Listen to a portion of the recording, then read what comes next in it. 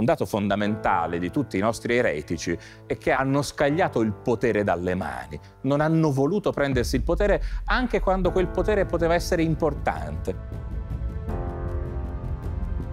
Piero Calamandrei fu un grande antifascista. Era convinto che la cultura, la conoscenza fosse lo strumento più importante per combattere il fascismo. È stato un pezzo della storia d'Italia ma c'è qualcosa nella sua vita intellettuale, nella sua vita morale, in quello che ha insegnato, in quello che ha scritto, che ci permette, anzi ci obbliga, a considerarlo proprio un eretico.